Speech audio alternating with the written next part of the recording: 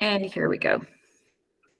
All right, awesome. Um, so my name is Dennis Kleban, and today I'm going to talk to you guys about Pulp Operator and how uh, you can leverage some features of it and Kubernetes to uh, achieve some of your high availability goals. Um, so today we're going to first kind of uh, discuss what we mean by high availability. Um, then we're going to take a look at the architecture of Pulp. Uh, we're going to look at what Pulp Operator can and cannot do for you. Um, and then I'll do a little demo of uh, how to scale Pulp across multiple Kubernetes nodes to avoid disruptions. So what is high availability? Um, if you ask 10 different people about what they consider to be a highly available service, you may likely get 10 different answers. Um, and that's because even the same piece of software deployed in two different organizations can have uh, different needs from their users. So uh, we should talk about setting service level objectives and how uh, those objectives can be measured uh, using service level indicators.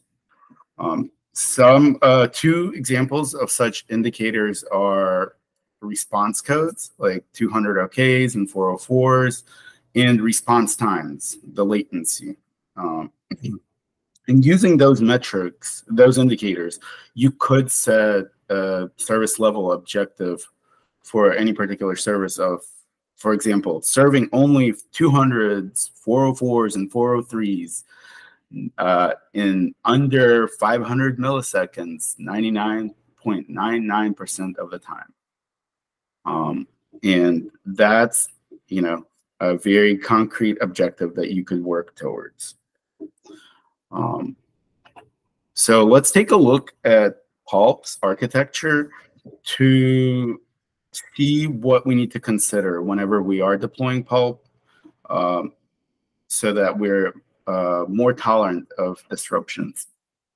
Um, in the blue here are the core services uh, that Pulp uh, has.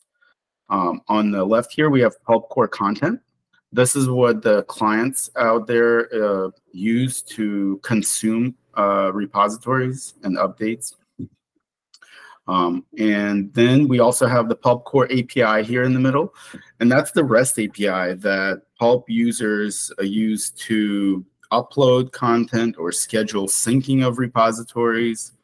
Um, and that's uh, a different set of users that uh, use that service. And then we have the Pulp Core workers, which perform the asynchronous tasks such as syncing and publishing repositories. Um, all three of these components can be uh, scaled um, horizontally, and this is uh, what the operator can uh, help you do.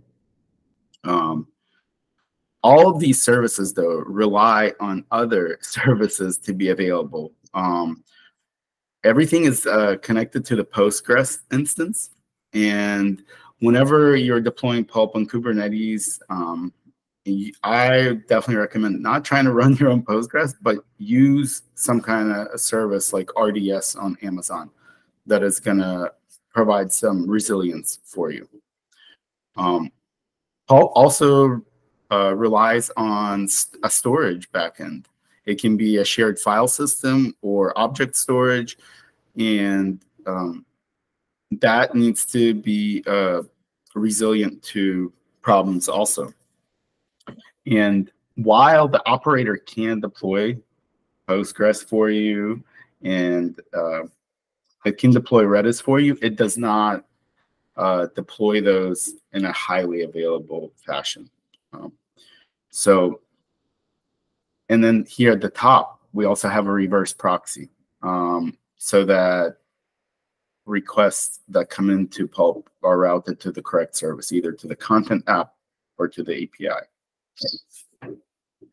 Um, and so what Pulp Operator can really help you do is scale the Pulp Core uh, API, Pulp Core content, and Pulp Core workers, and ensure that you have the right number of them to service your requests. Um, what it can't really help you do is uh, reduce the amount of time it takes for these services to service those requests. So that um, so the demo that I'll be doing here in this uh, bit will only demonstrate how to ensure that you can service as many requests as possible, but not as fast as possible. And so the operator does not ensure that your database is highly available. Um, you want to rely on a service that will do that for you. and the same thing goes for the storage system um, in Redis. And so Redis is uh, a little bit tricky uh, for Pulp because we only um, allow you to talk to one instance of Redis. Um, we don't support the clustered deployment at this time.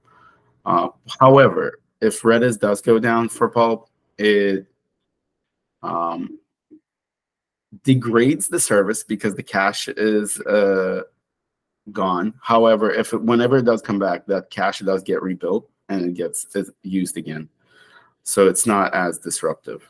Um, but also, the, uh, the other thing that the operator doesn't help you with is uh, ensuring that the DNS services are highly available. And we know that a lot of times when you're having network uh, connectivity issues, it's the DNS that's the issue. Um, and so you need to ensure that you are using DNS services that are highly available. Um, and also the reverse proxy uh, needs to be highly available and the operator does not help with that. Um, and so let's uh, do a little demo.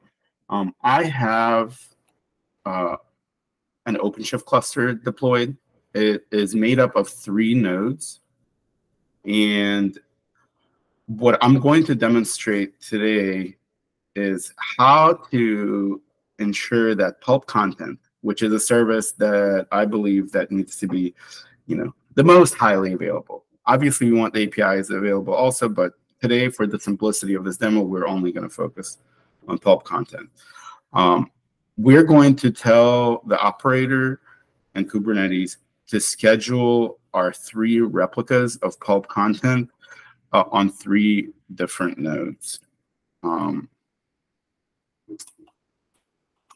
and this is done by creating a pulp custom resource, which is basically the API for talking to uh, the operator.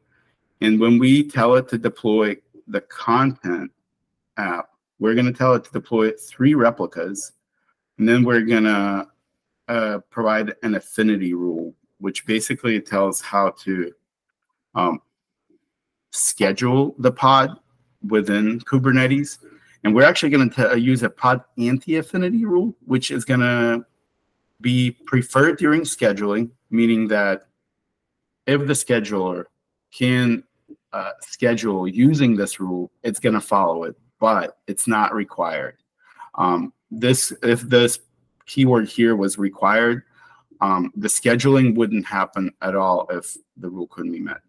Um, and then the second part of here is the ignore during execution means that once the pod is scheduled and this rule is no longer true during its lifetime, the pod is not going to get rescheduled because of that.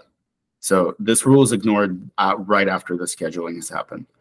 Um, and what we're telling uh, Kubernetes here is that um, if there is already a pulp content scheduled to a node in this in that specific zone, that's the label we're using as zones don't schedule the pod. So what I'm simulating basically is scheduling each of the three replicas for pulp content in different Amazon zones. Um, and so let's uh, schedule that. And here in the top screen here, I'm uh, watching the command that shows all the pulp content pods.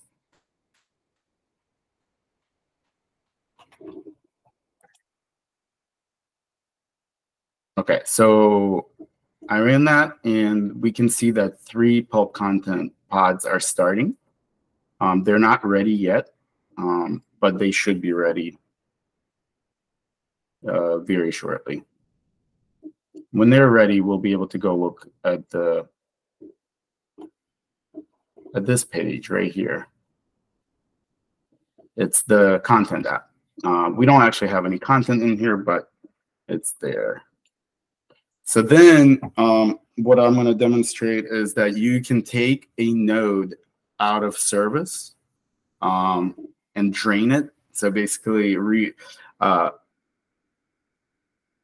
uh, and take all the pods away from that node.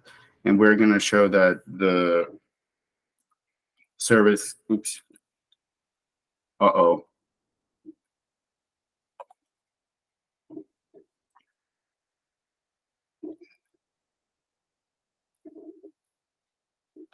Okay, sorry. Let me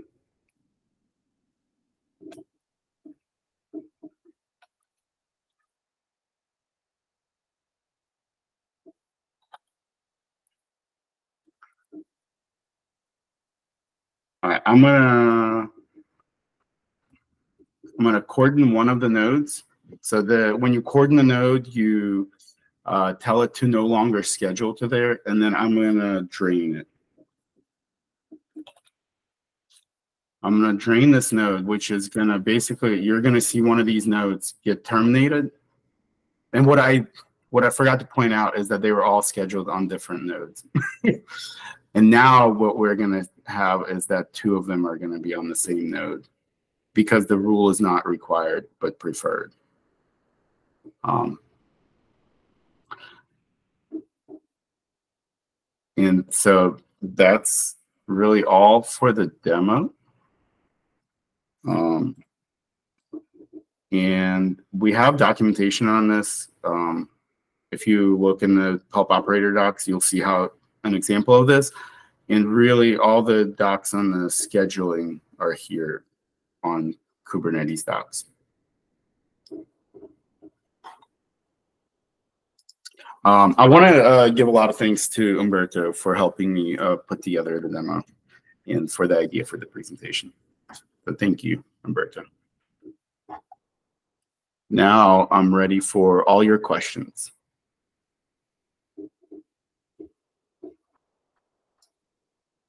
Yes, Ina. Um, so what it's doing here, it makes sure that the custom resource definition, which is there, it's always like reconciling the loop, right? That if something goes down, it makes sure that it matches the number three. That's right. Yeah. Yep. Um, um, this is a bit different from, uh, and I don't know whether operator can do it as of today or if it cannot, do you know if there are any plans to scale up and down based on the workloads? Uh, the operator does not do this now. Um, we have discussed that it's possible that we'll do that in the future. And um, this open telemetry metrics that we're going to be gathering will probably be useful to making decisions like that um, for the operator. But right now, we don't actually have this on our roadmap. It's a, a very long-term goal. Thank you. But seems like the open telemetry will be handy in here, right? Oh, for sure. Yeah, yeah, yeah. Um, the open telemetry uh, work is really going to help us set these uh, service level objectives. Um, and then we're going to use the metrics from open telemetry as those indicators. Grant? Yeah, actually, you just, you pretty much just said I was going to say, where I've seen other projects use it. You need the telemetry, you need the data to make the decisions like, I'm running out of CPU, I'm running out of disk, I'm running out of memory. Uh, this pod is up, but it hasn't it isn't doesn't seem to be doing anything. Once you have the data, there's a lot of cool things you can do in operator land, but the the data has to be there first to be able to start making decisions. Um, which is why I'm very excited about the work that uh, that Decker was showing us yesterday. Yep. I just want to say that we would be interested in that as well because we try to scale up. But I think we're just doing it on resources. Um, but we'd also like to look at things like how many tasks are in the queue. I guess we could get already from the API though. Yeah, but it's yep, it's not the same, right, David? Like yeah, because you don't know whether those tasks are waiting for a single resource or they're waiting because they don't have a worker yet. Yeah. It would be interesting, David, I'm going to pick on you here for a second. It would be really interesting to me to uh, see the kinds of things that you would like to make decisions on be a discussion somewhere because that'll help us prioritize how we um, uh, allocate people to um, adding probes and the, the, you know gathering that kind of information as opposed to just scattershot well, we're going to do things that we think are reasonable but especially those of y'all that are doing active uh, production systems at scale y'all know way better the kinds of things that are actually useful as opposed to the kinds of things that are theoretically useful i'd love to see that discussion start up somewhere yeah that would be cool um some things I would need to think about and get back to you on. But yeah, maybe I can make a list or something. If you do such a thing, um, just throw up a thread on Discourse would be great, and then we can get more eyes and get lots of uh, you know some brainstorming happening. Cool. I'm taking that as a to do. So happy to volunteer you any day, David. Thank.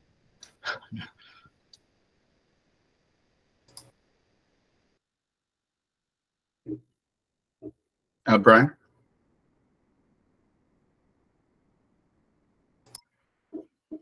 Brian? Yep, software mute. Um, hey, great demo. Uh, about the worker metrics, um, that is one of the parts of this epic that we have planned, um, which uh, just um, a discourse is a great idea. Don't want to take away from that. Um, this is a ticket that is the one that we're going to be using to implement those worker uh, metrics on as well. Um, so just wanted to share that. Uh, the question I had about the demo was um, so these are in different availability zones, which sounds right from an HA perspective. Um, how, but the database isn't in different availability yeah. Zones. And and well, we said it's highly available. So that's I'm taking that as a given. How how does the WAN are these spanning WAN connections? How how is how do these services work? I guess I, I guess I'm I don't run a lot of production services yet, but I am having trouble imagining like aren't these high latency connections when they're in different availability zones and how do their database connections reach back in a way that's reasonable? I have no idea. Yeah. Um, um yeah. I, I don't know either, so I'm not surprised.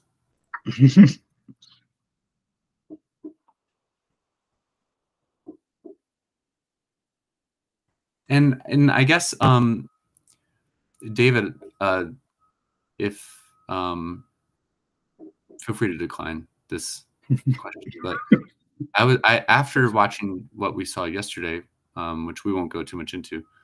Uh, do do you guys have any connection issues with distributing content in multi geos or in, in in different availability zones and connecting um, back to the database? What's that like?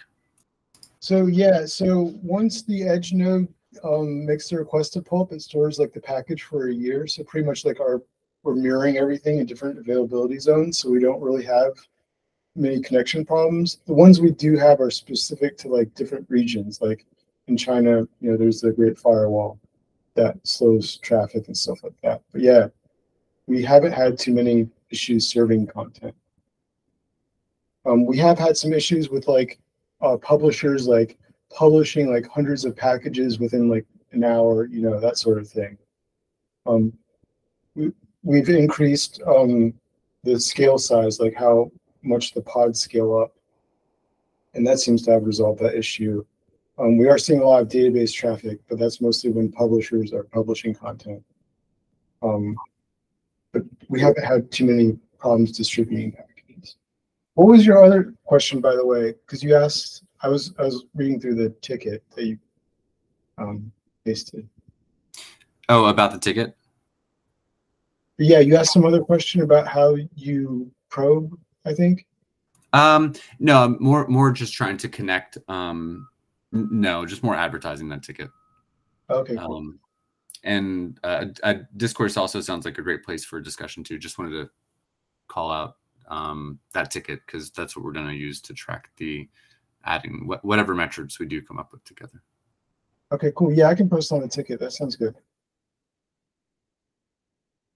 Um, you know, you have your hand up, but I guess one, I wanted one like little follow up. Um, so when these when these for David, when these nodes are in different regions, do they connect back to one database? Um, yeah, well, so they connect to pulp content, right?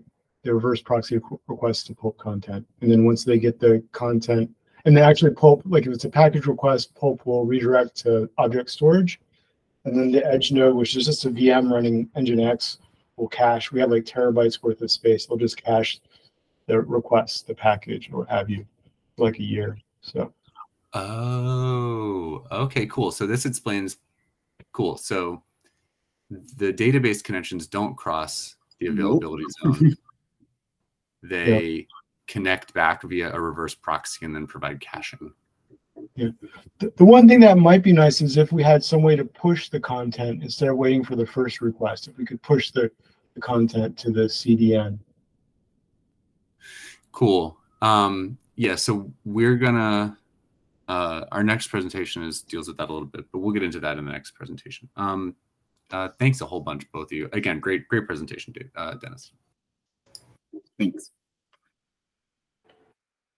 Ina? Um, I just quickly wanted to follow up uh, to the Brian's question about uh, how do we handle the database connections from the nodes which are in different zones.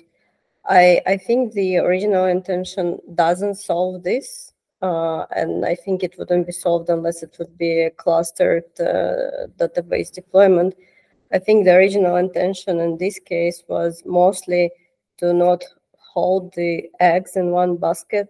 So you deploy the replicas in different um, zones in case like one node goes down in one zone, you don't lose all the replicas. That's why you have that rule set as the antipod affinity or whatever was its mm-hmm. name. Yeah, exactly. Yeah, anti affinity. Um, exactly. I think you uh, put it well when you said don't put all your eggs in one basket. And in this case, don't put all your replicas on a single node. um, spread the node, uh, the replicas across nodes. Because nodes do get taken down for service. It's not just like, you know,